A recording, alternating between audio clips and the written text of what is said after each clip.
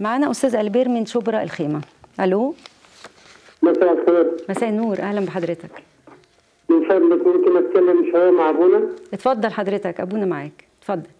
طيب. ما نقبل يديك الطاعة يا أبونا. تعيش حبيبي الله آه، يبارك. معلش سامحني أنا لسه فاتح على البرنامج مش عارف اسمه أصلا لكن أنا عاوز اتساءل قدس أبونا النهار- ناير قدس أبونا ارميا ناير أبونا مين؟ ارميا ناير ارميا ارميا ماشي ماشي.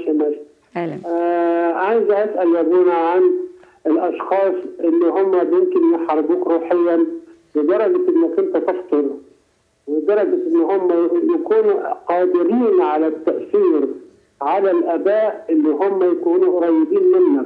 عرفوا طريق الأباء وعرفوا يوصلوا لهم وعرفوا يشككوهم فيك. الوحيد اللي ما قدرش يشك فيك أو يعني هو رافض إنه يشك فيك هو الأب الاعتراف. لكن الأباء الروحيين منهم أباء آه، يعني مرشدين يعني ما بقوش زي الأول حتى الأديرة. الأديرة اللي أنت كنت عايش فيها في فرح ودائم بطول حياتك ما تسيب الدير بقيت دخولك للدير ده دخولي أنا للدير ده أمور صعبة جدا. كمان دائما يحصل على القنوات الفضائية المسيحية تأنيب والتأنيب ده بيوصلني لإحباط رهيب تقليد. وبعدين مش تأنيب. المفروض التأنيب يا ابونا يكون تعليم من فضلك في كذا يتعمل كذا. إنما لما يجي واحد بعض الخدام اللي كنت بقابلهم من المعوقين أنا كنت خادم برضه من المعوقين. للأسف الشديد أنا تنازلت عن الخدمة بسبب المرض اللي أنا فيه لأن أنا أصلا معوق في رجلي بشلل الأطفال. ألف سلامة. لما يجي واحد يقول لك سواء في التلفزيون أو في الكنيسة صومكم مرفوض وصلاتكم مرفوضة وهل ده يا أبونا ده تعليم؟ هل ده تعليم يا أبونا؟ هل ده تعليم ان أنا أجيب لك إحباط سواء قدسك واحد كان يقول أو واحد أسقف يقول أو واحد خادم يقول ويوصلك لحد إنك أنت بتشك حتى في انه ممكن يكون في رباط بينك وبين ربنا وده واحد عاش بتول عاش في صلاة عاش في تسبيح عاش في دير عاش في عيلة عاش في وسط ناس مجتمع بقالي 60 سنة عايش وسط المجتمع. أجي في الآخر يا ابونا أبقى محبط لدرجة إن أنا مش عارف أنا أصلا آه، آه، صلاتي مقبولة عند ربنا ولا لأ. والخطايا اللي أنا بشعر بيها إحساس ومشاعر وأفكار ونوايا دي هي الخطايا الوحيدة لم لم اصنع غيرها. يجي حد تاني يشككك إنك أنت بتقع في خطايا وسط أهلك ما ده عدو الخير. عدو الخير لازم يحسسك بالإحساس ده وإن أنت صلاتك غير مقبولة وإن أنت يحسسك باليأس والتأنيب. يعني فتمام اتفضل.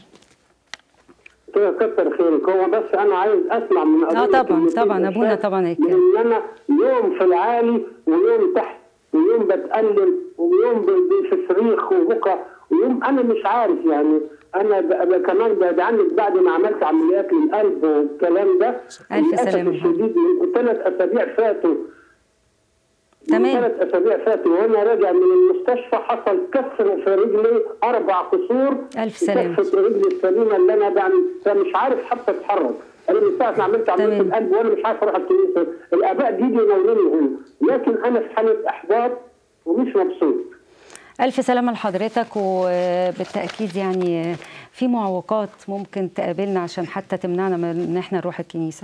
قدس أبونا تقول للأستاذ آه، أستاذ أنا عايز. أقول لحضرتك حاجة آه، اولا خليك واثق كويس قوي في كنيستنا كنيستنا القبطيه الأرثوذكسية هي كنيسة قوية وكنيسة أصيلة منذ بداية العصور وهي راسخة وتعليمها وتسليمها للإيمان هو واحد وسليم من بداية عصورها وحتى الآن على إيد آه، أبائها هي نفس التعليم ونفس ال- المعتقدات ونفس الإيمان السليم الصحيح.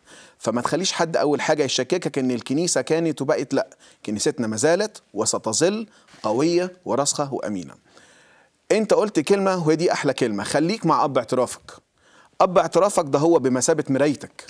هو المراية اللي آه، انت بتشوف فيها نفسك بدون خجل انت بتشوف فيها نفسك بدون كسوف انت بتقدر تكتشف كل حاجة سواء إيجابية أو سلبية جوه جواك بدون ما انت لا تجامل نفسك ولا تقسو على نفسك. فتابع مع أب اعترافك واسمع كلام أب اعترافك اللي يقوله لك لأن هو هيكون أكتر حد عارف داخلك وحد أكتر حد عارف إيه اللي يفيدك أو إيه اللي ما يفيدكش إيه قانونك الروحي اللي ينفع معاك أو لأ. حتة إن انت كنت بتروح بيت ربنا وانت فرحان ومتهلل ولا ينزع أحد فرحكم منكم. اوعى حد يحاول يفكر إن كده يزعزعك عن محبتك ولا يزعزعك عن فرحك اللي انت كنت بتروح بيه وتصلي فيه في الاديره أو في الكنيسة أو في أي مكان. فكرة الإحباط ما دي حرب من عدو الخير. هيجيب لك إحباط فهتيأس فهتزهق فهتسيب الموضوع فتبعد عن ربنا اوعى. اوعى خليك دايما واثق كده وإن قامت علي ممالك ففي ذلك أنا مطمئن. هيجيب له مرض هيجيب له عملية يعملها هيجيب له كسر في رجليه هيجيب له هيجيب له علشان كل ده حاجات يمنعه من إن هو يروح الكنيسة بالظبط. وير- ويخدم كمان. عدو الخير هيفضل صحيح، يعمل له كذا صحيح. حاجة لغاية ما يقعده خالص. صحيح.